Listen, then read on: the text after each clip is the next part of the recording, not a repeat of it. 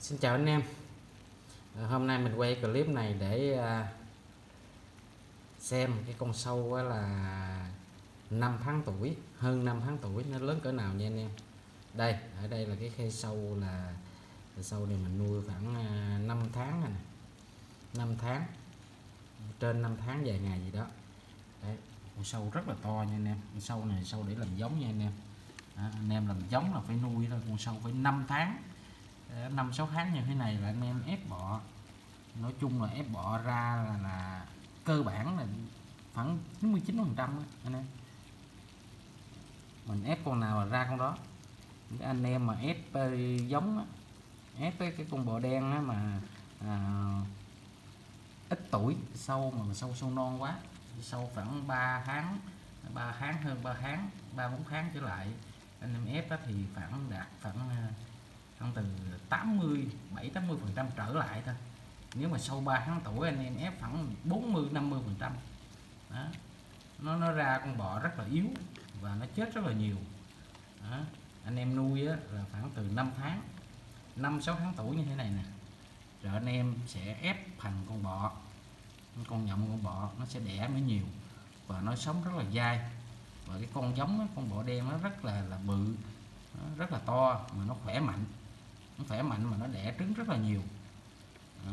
nếu mà so sánh á, cái con bọ mà ba bốn tháng tuổi anh em ép ra đó một là nó mau chết. Đó. thứ hai là nó đẻ không bao nhiêu hết. Cái con bọ mà anh em nuôi khoảng 5 6 tháng tuổi như thế này có thể sống đến vài tháng nửa năm trở lên 7 8 tháng.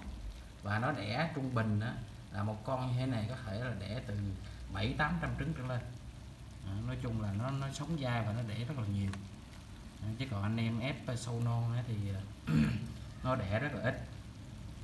Mà anh em á, chuẩn bị nuôi cái con giống á cái con giống mà mà ép bọ khoảng 3 4 tháng anh em làm giống thì cái chất lượng cái con sâu sau này anh em làm giống nó cũng không thể bằng cái con con sâu mà anh em à, nuôi lâu như thế này anh em ép giống.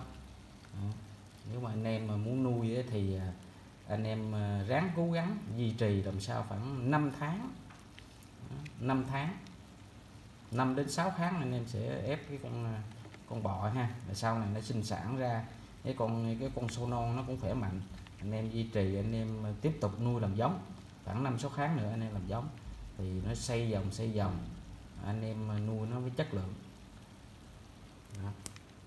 ở đây thì mình bỏ trong cái khay à, hiện nay thì sâu giống khoảng 5 tháng 6 tháng tuổi thì khoảng mình khoảng chừng à, khoảng à, khoảng à, mười mấy ký nha gần 20 ký.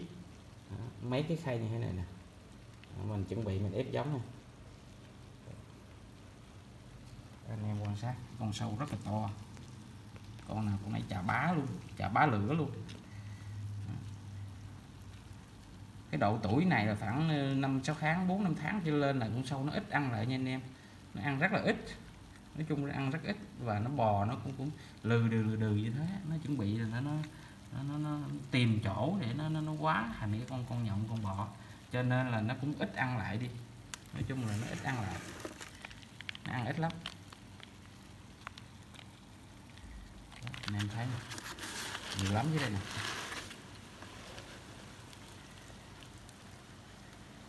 Con này con nãy chà bá lửa luôn về là ép giống là chất lượng. Con nào nói chả bá lửa đen khui. Đó. cho nên em ép giống là lửa, con bự nhất á. Đuôi đen đầu đen, anh em ép giống, mới thành công được. Mình bỏ cái cái cái cám gà con vô mà. Mà hôm nay cũng cũng cả mấy tuần rồi mà nó ăn cũng không hết nè. Nói chung là ít ăn lắm, con sâu mà khoảng tầm một tháng à, kháng hơn kháng kháng hai tháng nó ăn dữ lắm. Anh em bỏ cám vô khi là bỏ vài ngày nó ăn sạch. Nhưng mà con này bỏ khi hai ba tuần nó cũng cũng ăn bao nhiêu hết càng lớn thì ờ, thì nó càng ít ăn nhanh em ít ăn lắm.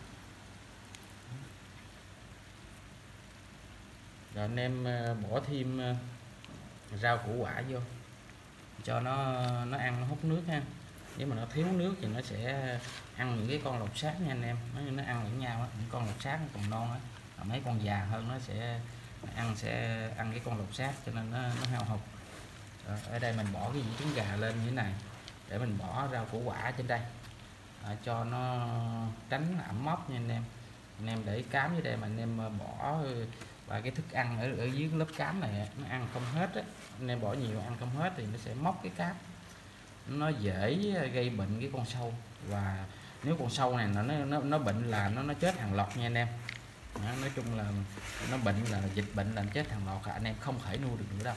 Có thể là nó nó, nó dịch bệnh nó nó nó lây trong không khí như thế nào mình không biết. Nhưng mà khi mà nó dịch bệnh là chết hàng loạt. Sâu lòng sâu super wow này. Cho nên anh em chú ý phải giữ đó. Đừng có để ẩm mốc. Cám ẩm mốc là dễ bị bệnh. Với lại là ẩm ướt nha. Anh em mà để ẩm ướt á nó khô anh em nuôi là phải khô ráo như thế này nha anh em nha đó. cái khay lúc nào nó cũng phải khô ráo như thế này. Chứ anh em mà để ẩm ướt á ẩm ướt là sâu nó chết hàng loạt nó cứ ẩm ướt là nó chết hàng loạt anh em cho ăn nhiều rau củ quả quá. Mấy cái loại mà dưa hấu rồi đó là mấy cái loại mà mình đu đủ rồi nó nhiều cơm nó nhiều chất nước. Mà anh em cho ăn ít ít đó thì được. Anh em để trong đây nhiều á, là không chú ý anh em không quan tâm đến không kiểm tra là cái cái, cái ở dưới ở đây nè. Cái khay này nó ẩm nó rít rít rít rít dưới đây nè. Nó ẩm ướt dưới đây là sâu nó chết hàng loạt. Đó anh em chú ý rồi. Cái khay sâu của mình lúc nào nó cũng phải khô ráo như thế này. Nó khô ráo nó khô nó không có ẩm ướt nha. Nếu mà anh em thấy phát hiện ẩm ướt là anh em phải thay nha. Phải là thay cái cắm cắm khác nha. Phải phải phải, phải rửa cái cái cái khay đó nó phải rửa và và sát trùng cái khay đó đi. Khỏi cần sát trùng cũng được anh em rửa rồi phơi khô đi, lau khô rồi anh em nuôi bỏ cám nuôi lại làm sao? Duy trì lúc nào cũng khay sâu cũng phải khô ráo. Chứ ẩm ướt là nó chết, mà nó chết là chết hàng loạt anh em chú ý đó, đây là cái khay à, khay sâu khoảng 5 tháng tuổi này anh em mình chuẩn bị làm giống ha. Còn bên đây giới thiệu anh em luôn, đây con sâu, đây là con sâu con, đó. Em thấy rất là nhiều. Này khay này khoảng 10 ngày nè nó đẻ cho con ờ, con giống. Bộ đen nó đẻ khoảng 10 ngày. Nó rất nhiều dưới đây nó rút nhúc rút nhúc. Anh em nhìn kỹ, nhiều lắm. Khay này lớn lên là phải cả chục ký. Cái chục ký sau, từ 8 đến chục ký. Tại vì cái khay này là mình bỏ khoảng ờ, hơn 2.000 con bọ. Hơn 2.000 con bọ mà mình để ờ, cho nó đẻ khoảng 6 7 ngày á. Cho nên là số lượng sâu sâu con rất là rất là nhiều nhìn kỹ kìa. Nó rút nhúc rút nhúc. Rất là nhiều.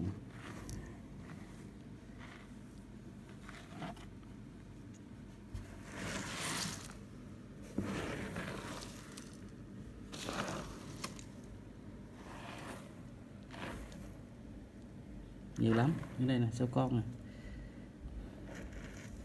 rồi, xin chào anh em nha. Chúc anh em ờ, cuối tuần ngày ờ, chủ nhật ha.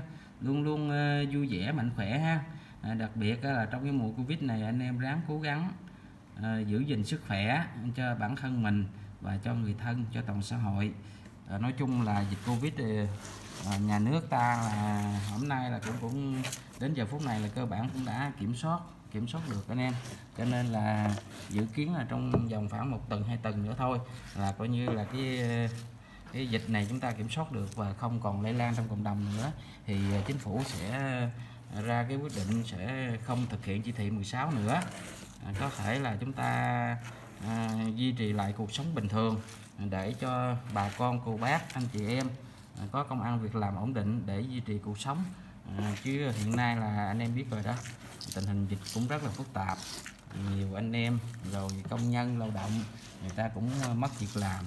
À, rồi là tự như là là cũng nhiều người cũng rất là khó khăn cho nên mình cũng chia sẻ cái điều đó. Rồi, chúc anh em cuối tuần vui vẻ nha. Hạnh phúc. Bên người thân gia đình.